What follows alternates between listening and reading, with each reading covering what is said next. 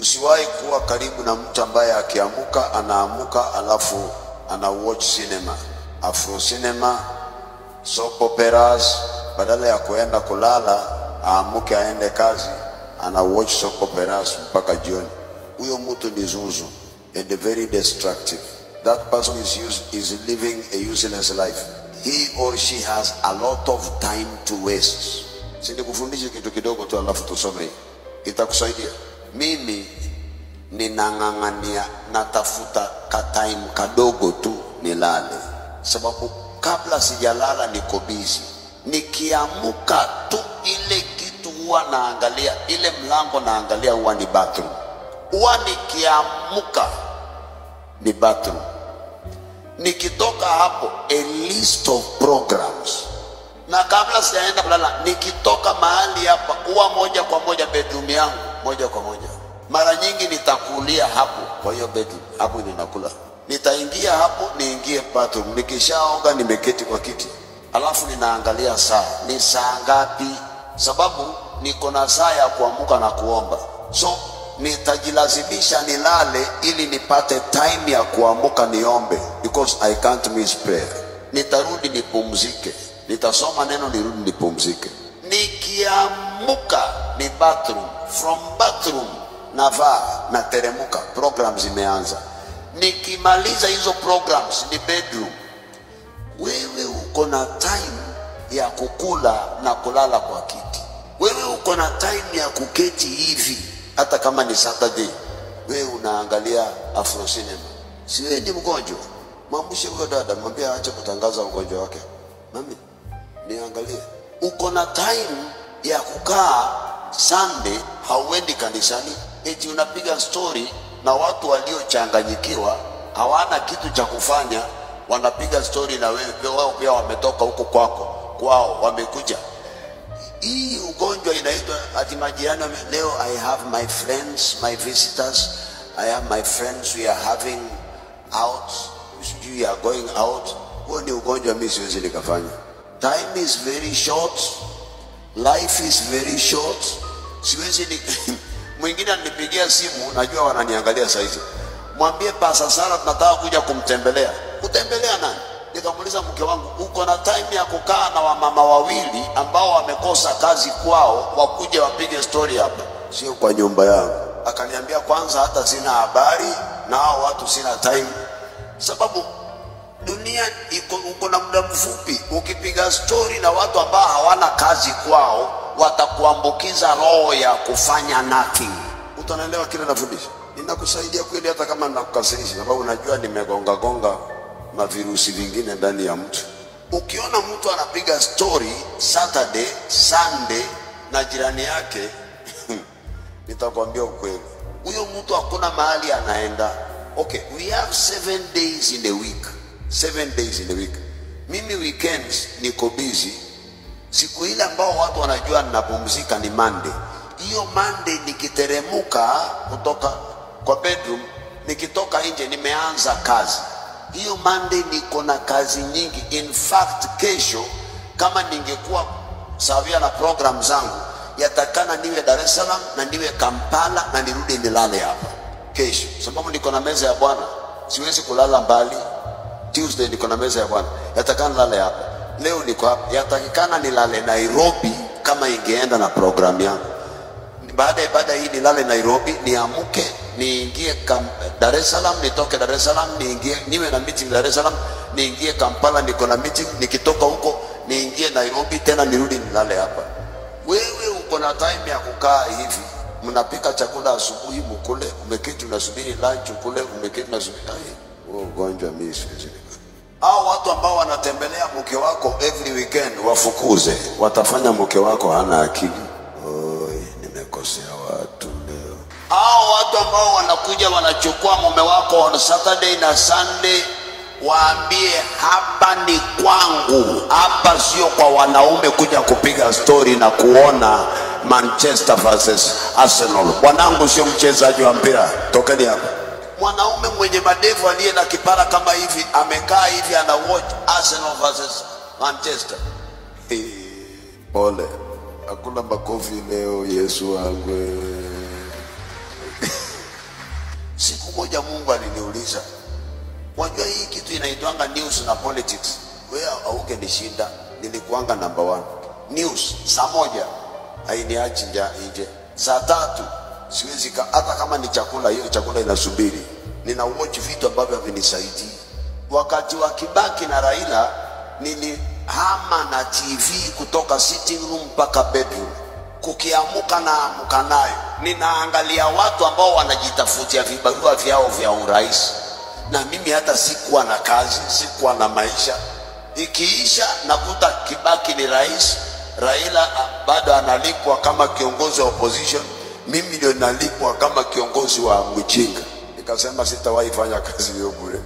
Na unajua kuna wengine kesho hawaendi kazini, wanaangalia inaitwa nini, Supreme Court ninawa ninawaumiza moyo na ninawaumiza moyo kimakusudi.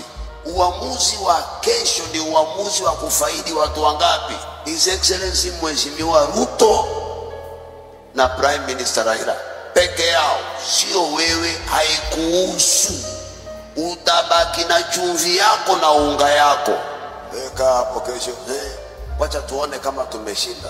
Umeshinda, heri kesho uende mfungo ama ufungue biashara yako mapema, ujipange jinsi ya kulisha watoto wako na kuwalipia karo. Si nimesaidia mtu hata kama nimekuudhi. Life is very short. Zile vitu ziko ndani ya moyo wangu, hata ningeongezewa miaka niishi miaka mia mbili singemaliza. Na wewe sasa uko na bedrooms tatu na gari moja, na wewe ni mkubwa wa kampuni fulani. Sasa wewe unafikiria umefanikiwa? Wakubwa wako wengi, wakubwa wako wengi. Omba Mungu akutoe kwa hicho kiwango, ingia kwa kiwango, utabakisha mfano chini ya jua. Mi nakusaidia, nimekuongelesha ili ukasirike, ufanye kitu cha maana. Sikuwa na kuongelesha ili useme amen. No, nilikuwa na kuudhi. Idle mind is the devil workshop. Whoever said that was not wrong. As long as you are engaging your mind in meaningful purpose, then you are safe. For you will not have negative attack from the outside of your mind. Ni wakati tuelewe our gifts so that we can exercise them. And for your information, your gift is very simple to know. You don't have to go all around discovering it. Haiko kwa milima, mabonde, inji tambarare wala hewani. Leo nataka niwaeleze jinsi utajua hauishi kulingana na your purpose. Ukisikia alamu yako yaita asubuhi kwa mfano, na uwe hauna furaha kuhusu hilo, basi jua kwanza hufanyi kile wapaswa kufanya. Kama huna furaha na kile kinachokuamsha, basi elewa you are not living in your purpose or within your gift. Kinachochoma moyo ni muhimu sana, ukitilie maanani, kwa sababu huwa hakiondoki hivi hivi. Na pia tafadhali, usitamani kuishi maisha wengine ama kuishi life without a purpose. Identify your own because things that you do absolutely the best with the least amount of effort. Sasa hicho ndicho kipawa chako. Jamani, usiwe vuvuzela wa kila kitu, usio wewe ndio wa kubreak news wakati pale majirani wanapigana hmm? We ndio namba one kujua kile kilichotokea kili walianza vipi mm? ama kukiwa na wageni kwa majirani wewe huyo na notebook mm? ushaanza kuna akili ama simu uko kwa kapicha tu pale kwa dirishani pale wafungwa net wafungwa nini ki- kitambaa cha dirisha pale alafu unaanza kuchukua video wageni wa wenyewe hata hauna haya eh, ndio upate trading news ya kupelekea majirani wengine udaku mwanamke hulka ama kwako ndio campaigning grounds ya kuchambua magazeti eh? mwaianza nairobi mwaimalizia mombasa. Unapata wapi muda huo jamani? Pia wapata muda wapi wa kujibizana na majirani eh? kurushiana maneno huku na kule. The devil has taken hold of you. You are the captive of all this. Please choose your friends wisely wanasema show me your friends and i will tell you the kind of person you are. Do not give everyone access to your life at the same level. Tafadhali wakati ule ambao una choose friends huwa very makini. Hmm? kuna wengine ukiwakubali tu kuwa marafiki zako wanakuja kwako and my friend in two minutes wako kwa bedroom yako. Or in two days anajua weakness ya boma yako yote na yake wewe hujui. Yaani yuajua kila kitu si watoto si marafiki ashajua. Na in the third day masimu waanza kuyapokea. Mama karo yaani you mean ulisema hayo yote juu yangu ashapeleka udaku. Mama wenyewe yeye ni kuja kuokota na kupeleka. Yeye ndio nini trader eh? please learn how to edit your friends first before your data falls into a wrong ear don't give them access associations are powerful eh? tuseme wewe ni visionary on your way to get big things until you become part of the groups that has dipped their lives into weakness ama laziness hmm? ulikuwa na vision lakini pale ushamkubali huyu rafiki kuisha ushajichoma mwenyewe tujihadhari na marafiki wetu. So please try to get a destiny associate. This is a person whose pain will become your own. Ukilia analia na wewe. Hata kama haiwahusu they go out of their ways. These we call them genuine friends and with genuine love.